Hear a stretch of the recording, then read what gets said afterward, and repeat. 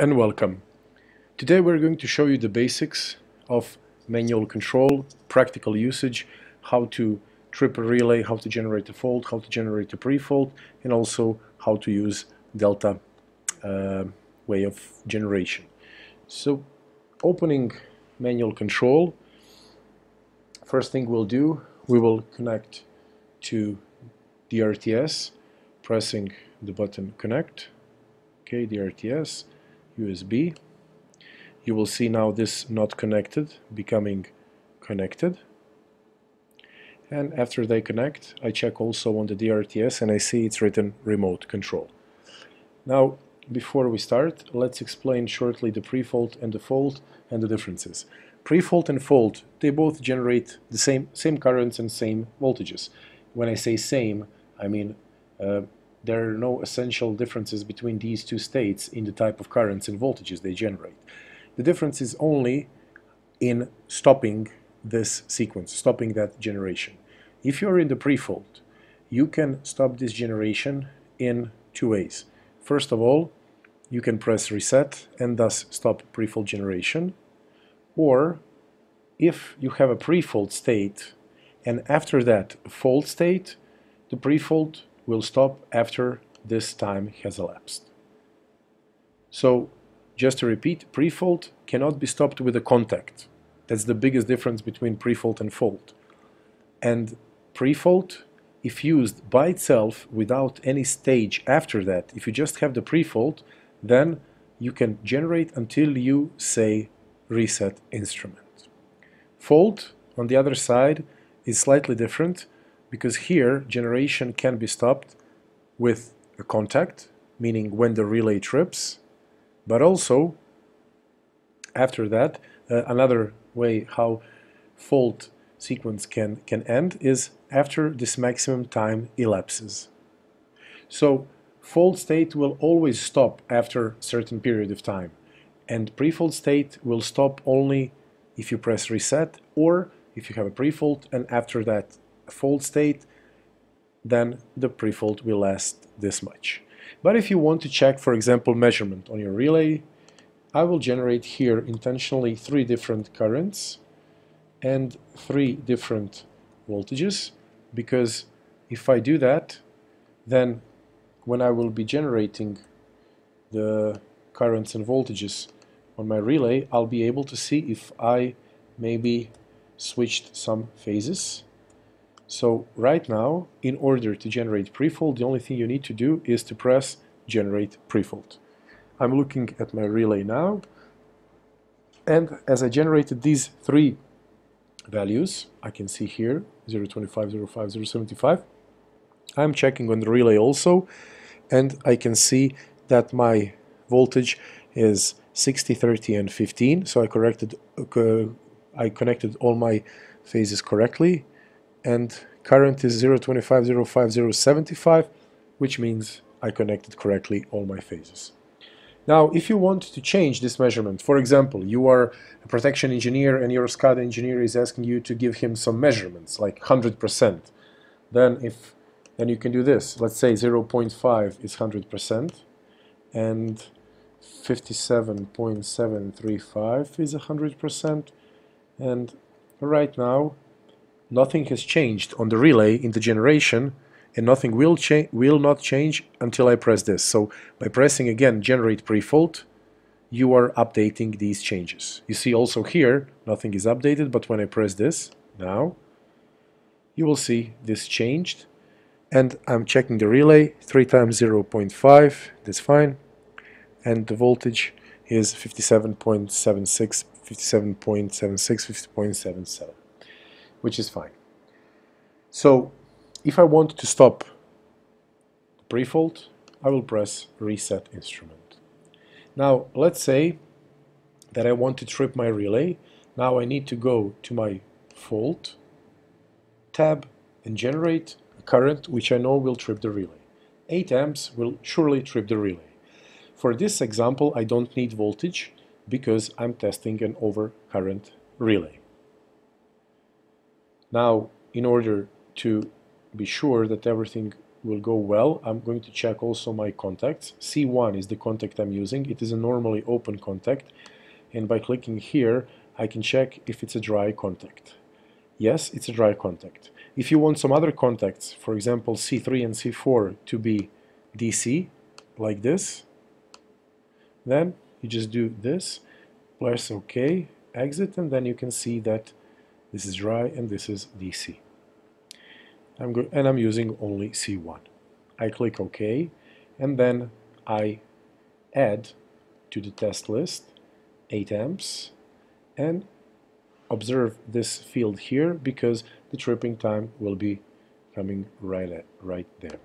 I start the test and first I see about 3 seconds of pre-fault and then I see a pickup and a trip on my relay and I see the tripping time 200 milliseconds, 210.5 here. I'll try another point, 12, just on phase 1. I'm going to add this to the test list and I'm going to start the test. I expect instantaneous tripping. In practicality it will be probably about 30 to 40 milliseconds.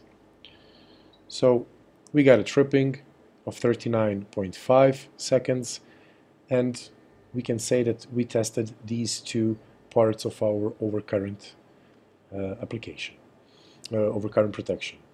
Now, in order to check the whole characteristic, I'm going to choose another type of test. First of all, I'm going to delete all this by clicking delete all rows. Yes. And I'm going to go to pre-faults again. And my pre-fault, I'm going to make this shorter. I'm going to make this only one second. And I'm going to add pre-fault to test. And then in fault, I'm going to choose delta and just to be sure what delta is, we'll press this. So you see, I'm going to start, let's say, with 3 amps. And then I'm going to have a pre-fault. And then I'm going to have a delta of 0.5. So 3.5, pre-fault 1 second, full 4, pre-fault 1 second. And I'm going to have this n times. How many times? I will decide. So I click OK. I say I'm going to start from 3 amps on all three phases. My delta will be 0.5 amps on all three phases. Of course, you can do it for only one phase. And I'm going to have 20 tests. In order to verify everything is correct, I check also again contacts, this is fine, and I add to test list, and I can see that I will have the tests starting from 3, then going to 3.5, 4, 4.5, etc. So let's start this test. While the test is being executed, observe this column because this is the column which will be filled in by the tripping time coming from the relay. To make it more clearer, I will tell you that this relay has uh, three parts uh, of overcurrent characteristic from 1 amp all the way to 7.6 amps we have IEC uh, class uh, B, very inverse characteristic. Then from 7.6 to 10 amp we have a definite time tripping in 200 milliseconds and from 10 amps on we have instantaneous tripping which in practicality is about as we saw 30 to 40 milliseconds.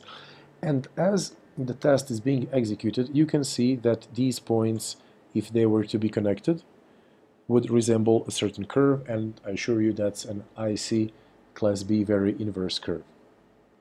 You can also see that the tripping time decreases exponentially, of course, and soon, as we after this test, the tripping will become much quicker, so 200 milliseconds, everything from 7.6 to 10. So we see 0 0.2, 0 0.2. And we also see that this is a curve and that this is definite time trip. We have a few more tests to do. Now we jumped from 200 milliseconds to instantaneous tripping, which is, as we said, between 30 and 40 milliseconds. And this is now 11.5 12 amps and the last point is 12.5 you see now we have IEC class B. We have definite time and another definite time. We can give it names. X is current in amps. And here we have time in seconds and we can also give it a title. Title can be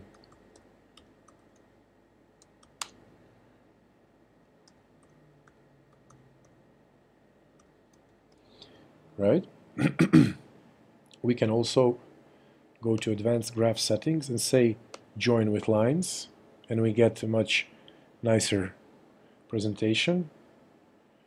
And we can also change the type of graphical representation but I would guess the one we had before was the best. So either lin-lin or lin-log like this one. We'll take this. And right now I'm going to save this test file and I'm going to save it in TDMS TDMS as you know is the name of the software but TDMS also has database and in the TDMS database I'm going to save this file so that I can call it whenever I need and reuse it again. I'm going to choose for example a certain network let me see which one will be the best for me let's say Italia Genoa line 1 relays and I will choose this relay here which I test which I have tested and I will say manual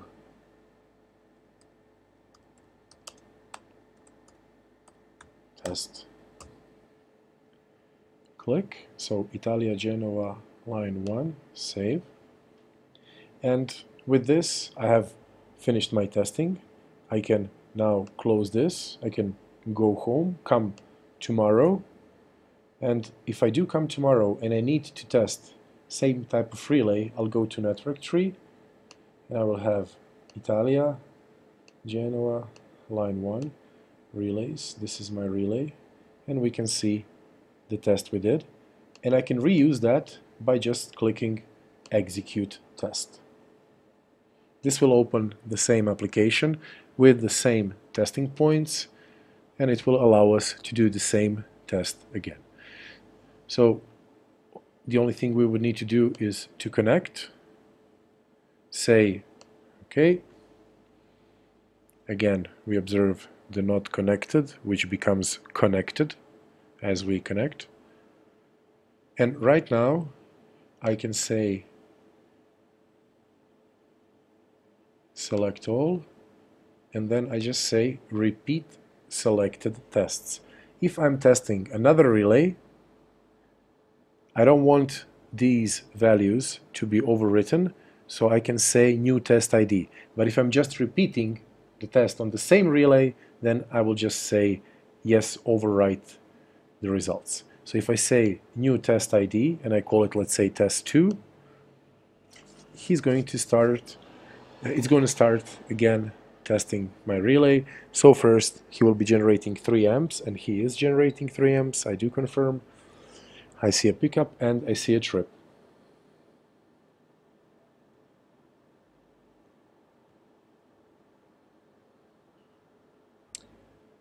Now, this is the best way how to save your time. For example, we see tripping here. We stopped it now not to have the same story again and we can also disconnect because I want to show you another thing you can do here instead of using execute test you can also use it to print your results. So we can change a logo. We can say let's say let's take a logo of Croatian transmission utility. HOPS. Print review.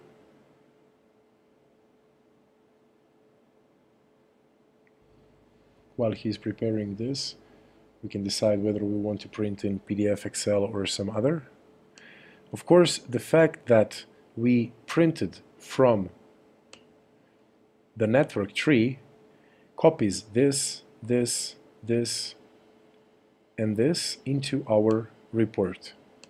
So we can see Italia, Genova, linea 1, Italia, Genova, linea 1, or line 1, and, excuse me, we can see here the results. So we chose not to have them connected. This is IEC class B, tripping in 200 milliseconds, and instantaneous tripping. You decide for yourself which values you want here. Obviously here these are not some values which are desired, but the printing is done just by pressing this, desktop, and then, for example, printing in PDF. Giving it a name 1 and saying save. That way you can choose to save time by preparing the files which can be run over and over and you can also print results from here. Thank you very much and we'll see you in our next session.